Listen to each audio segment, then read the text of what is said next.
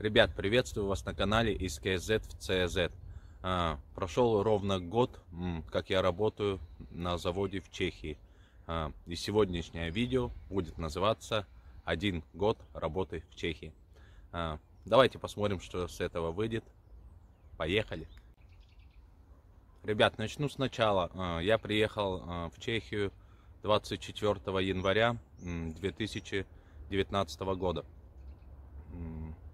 целый месяц я не работал, а, три недели там оформляли документы, я путешествовал, а, ездил в разные города Чехии, получил а, трудовую карту. И потом первый завод, который у меня был, это завод Panasonic. Я туда должен был идти работать. Вы уже знаете, наверное, видели видео, которое я снимал до этого. Называется «Провал на Panasonic». Я туда не прошел, так как не прошел тесты шуруповать.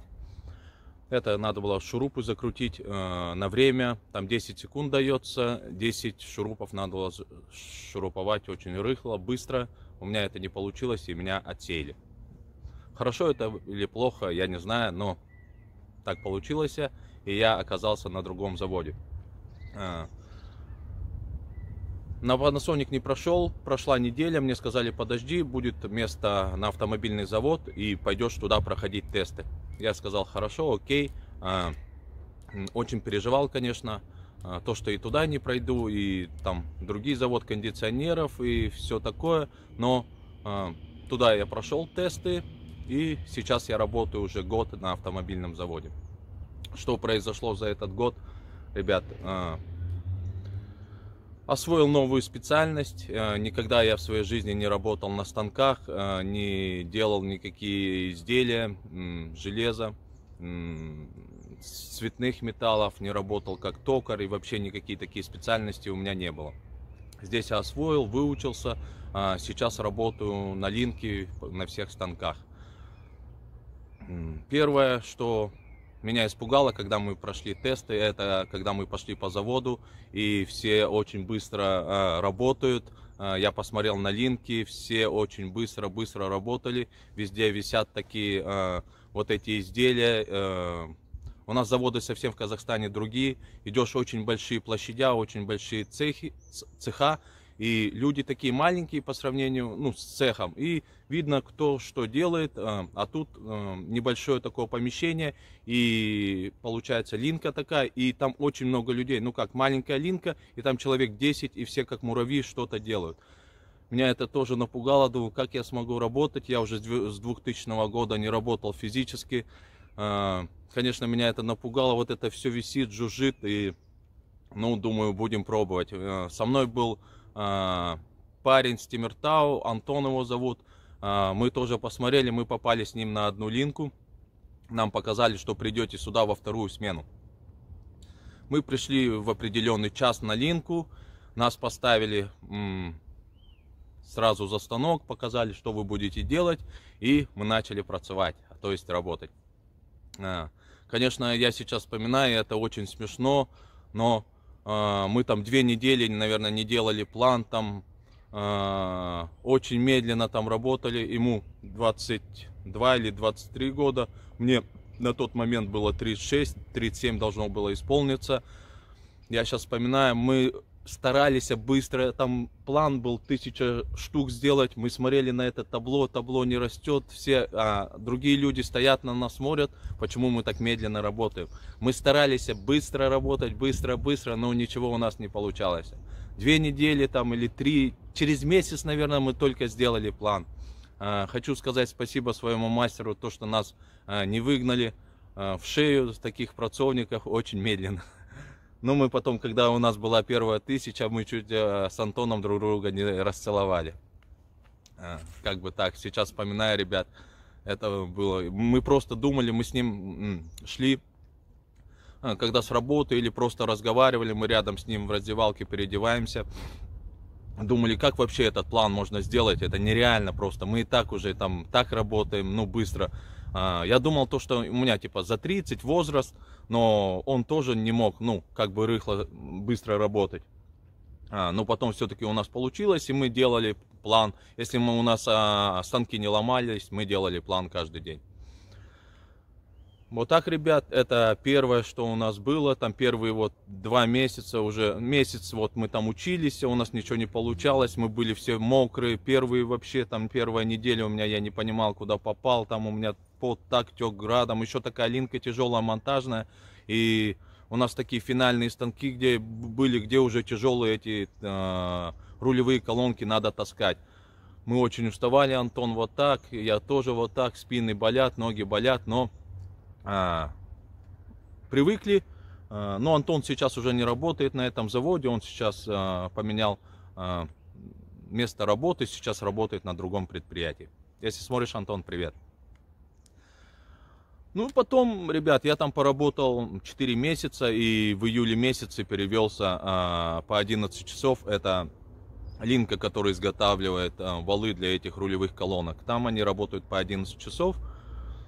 Тоже я стал на финальную. Ну, там, как, ребят, по 11 часов я уже рассказывал, вообще времени нету. Ну и тоже физически как бы выматывайся. И было легче то, что там вот эту саму рулевую колонку не таскаешь. А так тоже, ну, тяжковато. Я смотрю, люди приезжают, которые первый раз э, наблюдая, кто приезжает. Э, на этой линии в основном люди работают. Не в основном работаю я и одна женщина. Мы работаем долгосрочно, а, а остальные 7 человек постоянно меняется, приезжает по три месяца.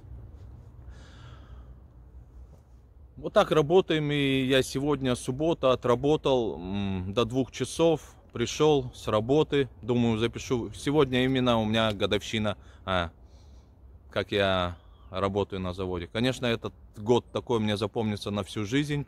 А, какие положительные моменты что много у меня появилось от друзей, конечно, с разных а, стран, там, республик. А, это, думаю, круто и всякие положительные эмоции. Набрался какого-то жизненного опыта, потому что люди разные, поведение разное, со всеми надо находить общий язык. Ну, все такое, а так, работа работой. Надо просто соблюдать дисциплину, ходить на работу каждый день, и працевать очень быстро. А, сейчас э, ребята заехали, э, все молодые, работают очень быстро. Вот кто по три месяца, я говорю, мы каждый день там выполняем план. А, раньше, когда я приехал, там 1500, 1600 они делали, а сейчас мы делаем 1800. Постоянно план растет и очень на больших скоростях мы работаем. Тоже домой приходишь, а, ничего не охота. Хорошо, Тимур а, дома как бы учеба у него, он приготовит покушать, я покушаю, соберу, собираю тормозок, помоюсь и просто ложусь спать и отдыхаю. Ну, думаю, это ненадолго, по 11 часов. Я, как мы разгребем сейчас с языковыми курсами, они закончатся и будет, э, надо меньше нам отдавать будет денег за учебу то я перейду, думаю, на 8 часов, и уже будет у меня свободное время, и займусь языком, и какую-то, может, смежную специальность буду осваивать, потому что времени совсем нету ни на что.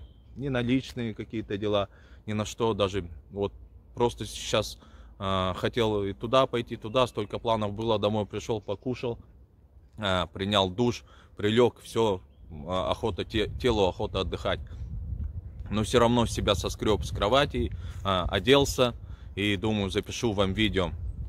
Думаю, будет интересно, ребят. Как бы так.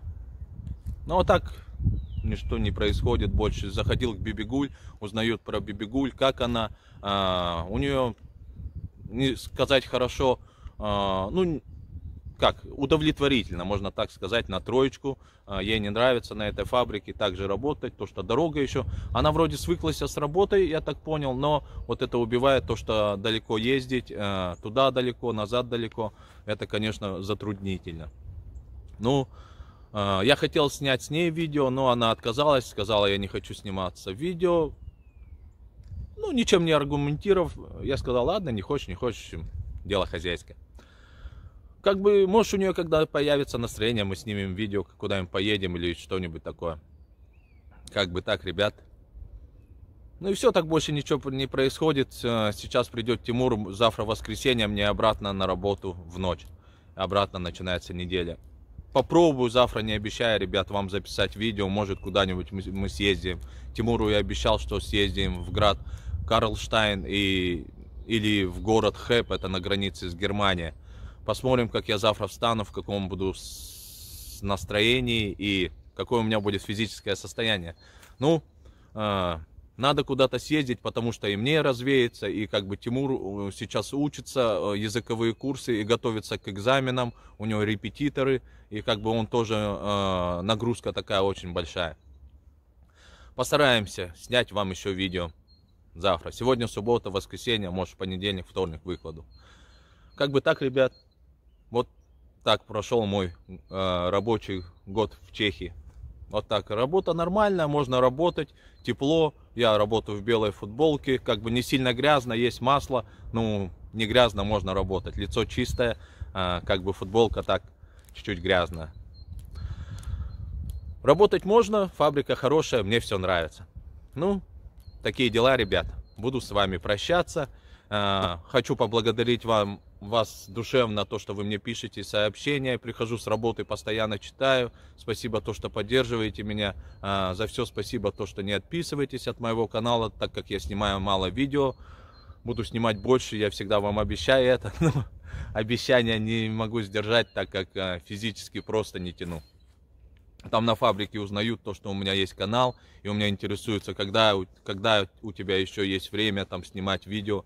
Я говорю, ну, человек просто не все свои, э, ну, 100% возможностей мы используем, может, 20%, а 80% в запасе. Это у меня так в голове. Ну, вот так, ребят. А то философия началась. Э, ладно, буду прощаться с вами.